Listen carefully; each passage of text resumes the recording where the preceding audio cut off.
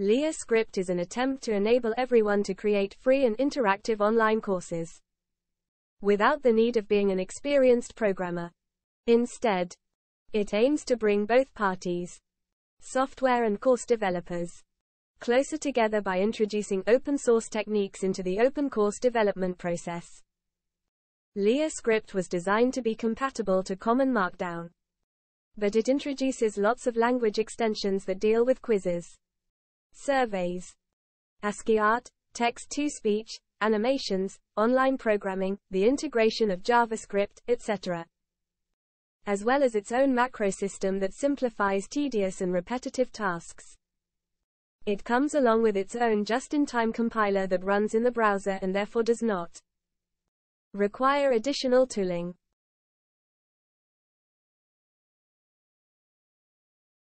LiaScript was initially developed within the Industrial Lab project. Opening square bracket. 1. Dot. Single quote dot. Which aims to make university hardware and laboratories accessible via the internet.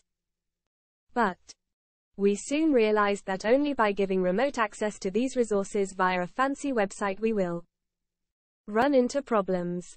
Our mobile Arduino bots could be used to teach programming, sensing, navigation, dive into operating systems or even to apply artificial intelligence. Thus, the real problem was to develop an extendable and adaptable system for creating courses. Instead of a single web app, with different objectives and for students with different backgrounds. Surely, creating an online course from scratch requires a lot of expertise in different web technologies at front end, e. g. HTML, JavaScript, CSS, testing. Backend, e. g. Web servers, databases and different communication standards to connect both sides. E. G. CRUD, WebSockets, AJAX. Dot. Hence, it is nearly impossible for a non-programmer to understand all of these issues before starting to develop his or her own online course. Screen or podcasts are not a real alternative, since they are expensive and time consuming in production not easy to change or translate, and require additional skills in movie cutting. That is why platforms such as Udacity or Course invest a lot of effort and money in high quality course productions, which is comparable to movie productions, including screenplays, actors, different sets and locations. Fortunately, there are so-called learning management systems. LMS, Dobre, 2015, that try to ease the course development. But how is such a kind of simplicity achieved? Mostly by offering integrated configuration systems, editors and authoring tools that shall enable the user to create a course with a lot of buttons and menus, sub-sub menus, and masks whose only purpose is to hide the non-intuitive syntax and semantics of a language that can be easily interpreted machines, not by humans.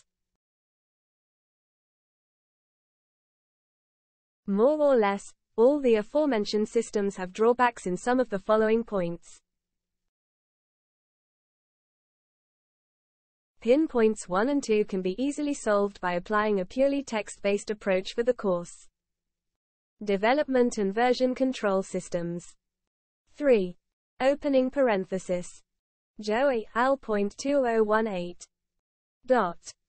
All required resources, including images, videos, data sheets, JavaScript and CSS styles, and everything else can be easily uploaded and made available via the internet.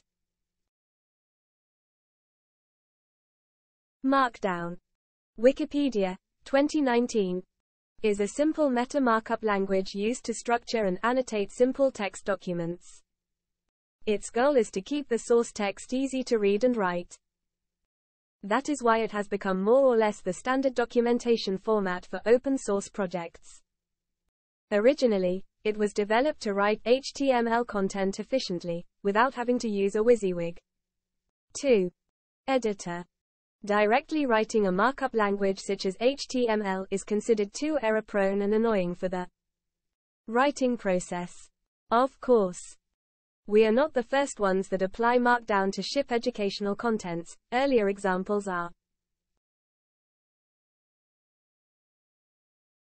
Of course there are other approaches that have to be mentioned. McKiernan, 2017. Comma. But the commonality of all system is that it's about creating static documents.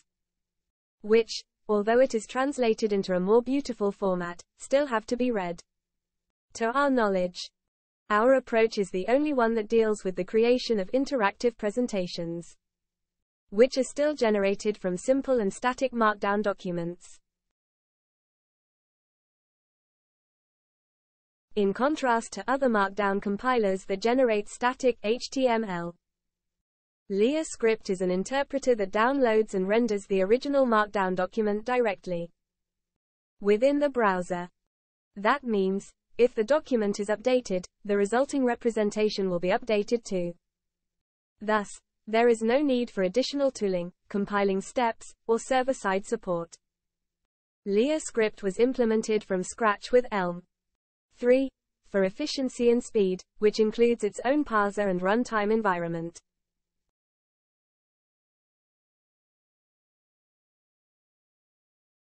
One of our design goals was to support different rendering modes, which covers the traditional textbook mode, next to presentations with animations and spoken text. Furthermore, we extended the language itself with various features, that should transform Markdown from a traditionally static markup approach into something new. Suitable for interactive online courses and more.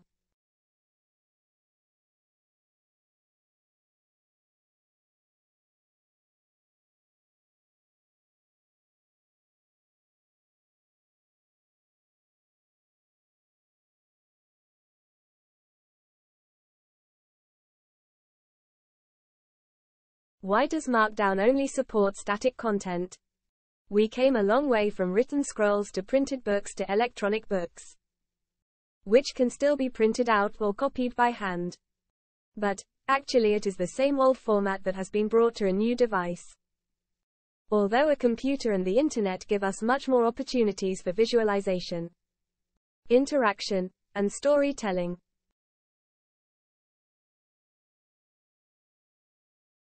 Markdown support Markdown supports two types of links onto internal and external resources, which can be either direct or formatted.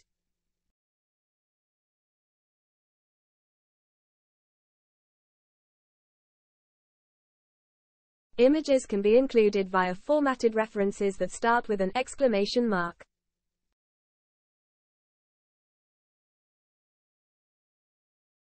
In contrast to this, it is still complicated to include multimedia content. Based on the previous notation, it is possible in LiaScript to mark a link as an audio file by adding a starting question mark, which can be interpreted as an ear.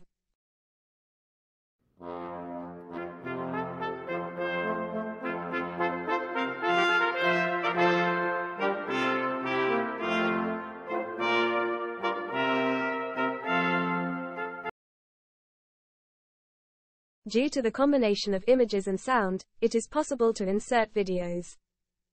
One of the benefits that lays in this notation is that every common Markdown viewer will still generate a fully working link to these resources.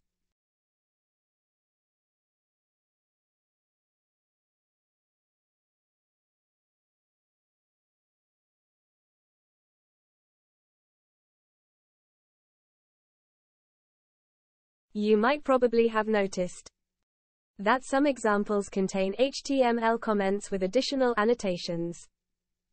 This is a cheap way of formatting any kind of elements, such as text, images, tables, videos, etc.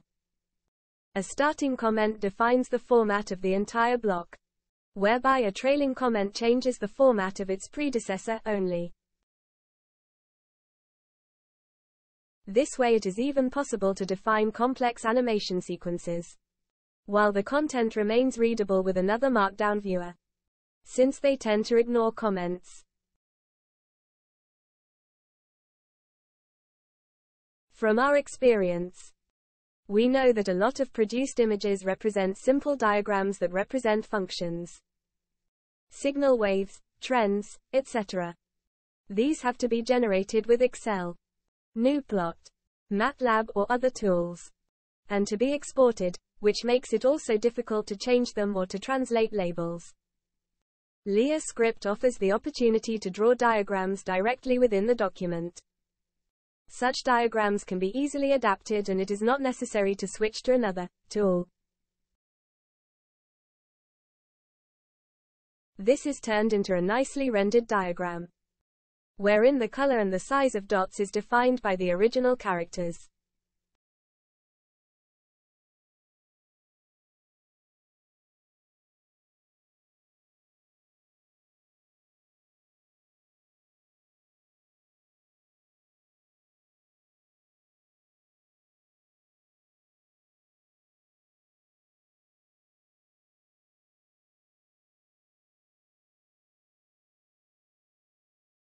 If necessary. It is also possible to depict complex issues, such as graphs, UML diagrams, or even pictures with the help of simple characters. Additionally, it is also possible to use any kind of Unicode character. Thus, LiaScript has support for Chinese, Greek, Arabic, or any other kind of characters and symbols. Dot. One of the language feature we wanted at most was an easy way to integrate quizzes in different flavors and thus to give learners the possibility to check their knowledge. Quizzes are always associated with double brackets, such that to add a text quiz, you only have to enter the solution in double braces and the input field. Check and resolve buttons are generated automatically. Some might adapt the question to handle the ambiguity in this case. But let us try out what LiaScript has to offer. It is either possible to add hints by adding question marks in double brackets and let the user decide if he needs help by clicking onto the associated button in the rendered course. The optional script tag allows to check the input. In this case to trim it and to transform it lowercase and finally to compare it with different possible solution. Therefore the at input macro gets replaced by the current user input. The trailing markdown blocks surrounded by two lines of stars show a more detailed explanation, which appears either if the user input was correct or if the user clicked onto the resolve button.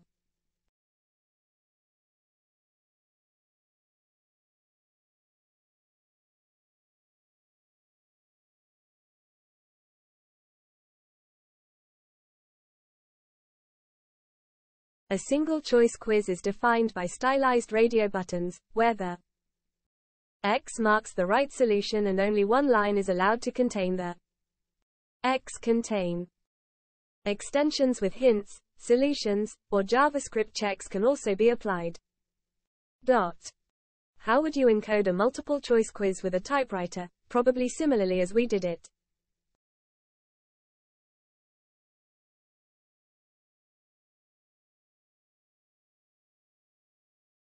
A generic quiz can be defined with the help of an exclamation mark in double brackets and a script tag.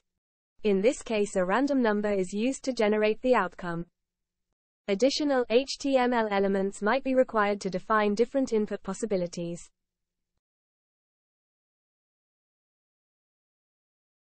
In the following two parts are intended to explain how a section can be divided into several fragments and how speech output can be generated. If you are using the online rendered version of this course at LiaScript website, then you will probably have noticed that there is a button in the upper right corner. It allows switching between three different display modes.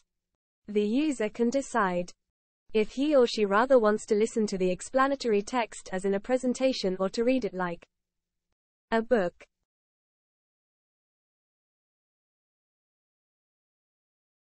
Defining fragments and revealing them step by step is quite simple. Only a number in double braces has to be put in front of a markdown block. Fragments with only one number will sustain until the end of a slide. A point of disappearance can be defined by putting a minus and a second number into double braces. Inline fragments can be defined by putting the fragment number and the elements to appear into successive braces. And it is also possible to attach different blocks to the same fragment number either by attaching a number to every block or by putting them into a body of stars. As it was done with the solution in Sec.2.3.4.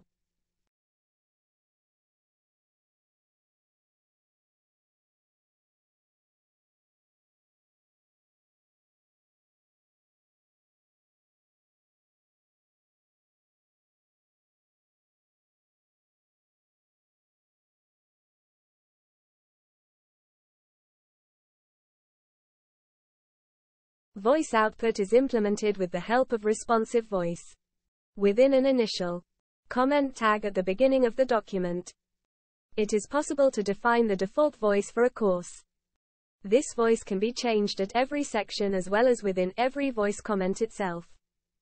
Such comments are treated as extended fragments, which are used to explain certain fragments in more detail.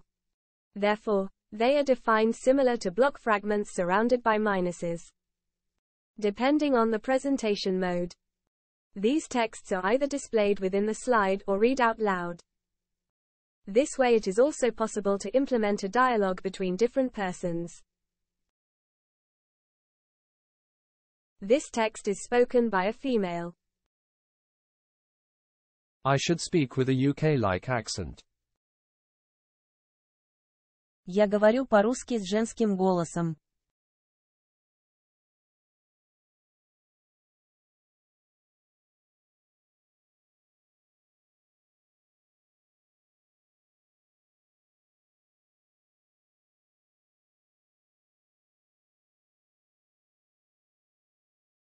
In the previous sections we had presented syntactic extensions to Markdown.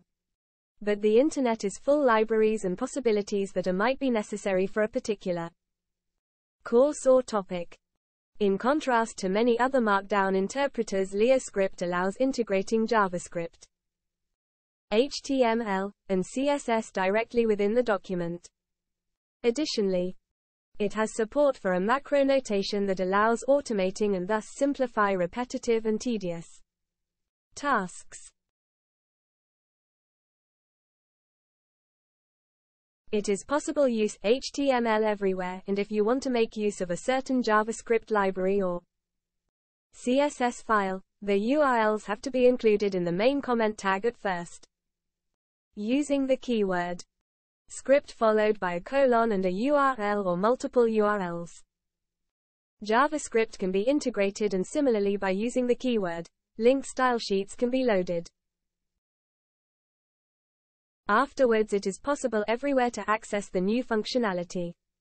The following example depicts how the JavaScript library Chartist is used to plot a certain graph. And this is the resulting graph rendered by Chartist. In sec.2.3.4, the at input macro has already been used to mark the replacement for the user input. A macro always starts within at symbol and can be defined in the MARN comment of a document. Macros describe simple rules for text replacement. For the one line at red macro, everything following the colon defines the replacement text. Parameter substitutions are defined by a at symbol followed by a number. These extensions can then be used arbitrarily in the document, as shown in the following example. A macro can also call other macros. And more complex macros can be defined as a block consisting of multiple HTML, Markdown, or JavaScript elements.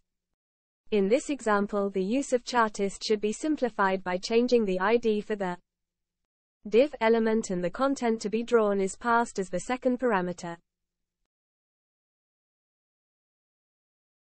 This macro can also be called via function-like notation. Since commas are used as separators for the parameters.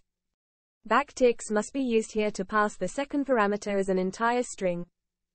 Admittedly, for very long entries, this can quickly become unreadable. For this reason, macros can also be called within a code block. Therefore only the respective macro must be called in the head of the block. The body of the block is then passed as a single parameter. This makes it easier to define complex macros and additionally, all popular Markdown viewers should at least display this kind of inputs in a nicely rendered code block with syntax highlighting, which enables the interpretation of data.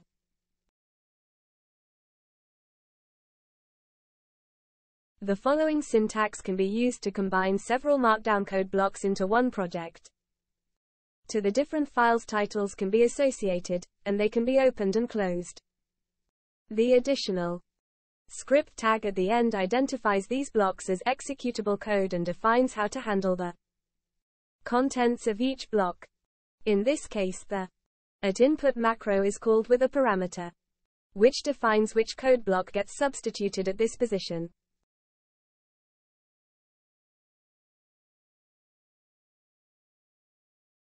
The LiaScript interpretation of these blocks then looks like this. All files are editable and a linear version management system is used to track changes. Try it, change the code and go back to earlier versions.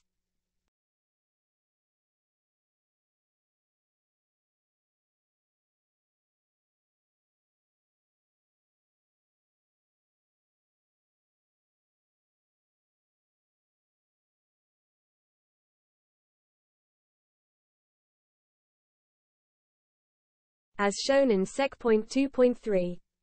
It is also possible to integrate different JavaScript functionalities and libraries, so that also different programming languages can be supported.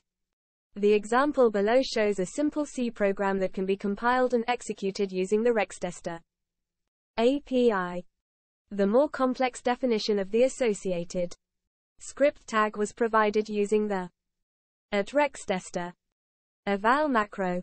Only by attaching such a macro, any code block can be turned into an executable one.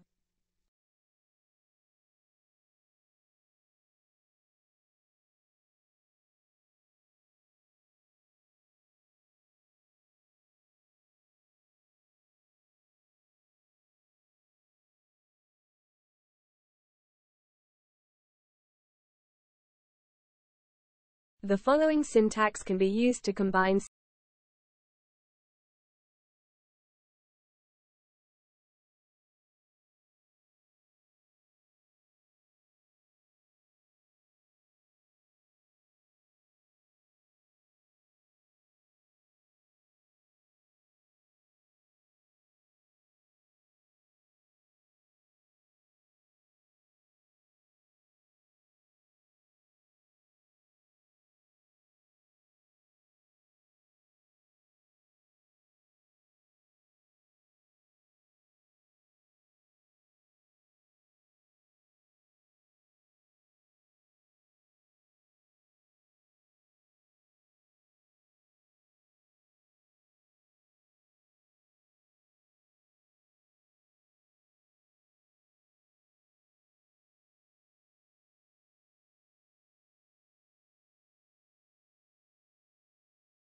as shown, the combination with other languages and visualizations using HTML and JavaScript is also possible. See the interactive example for the programming language processing.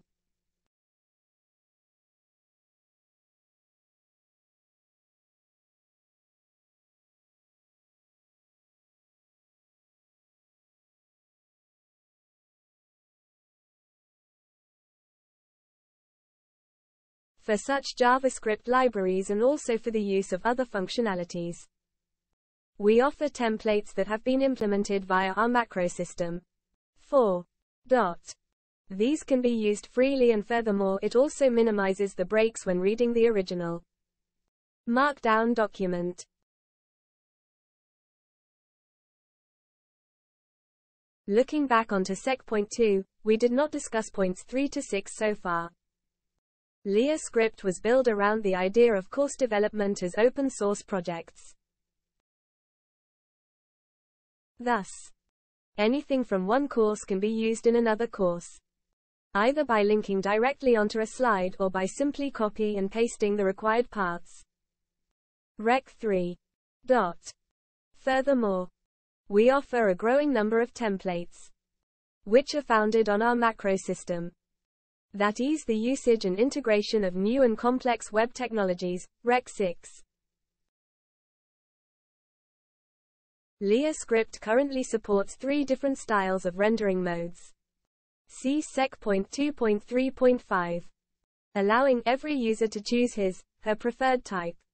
Rec 5. Dot. Concerning the preferred course language. Translating a single text document is much easier than translating a whole software project or a YouTube video or podcast and LiaScript offers some options that allow to host different language versions of one course at the same project, Rec 4.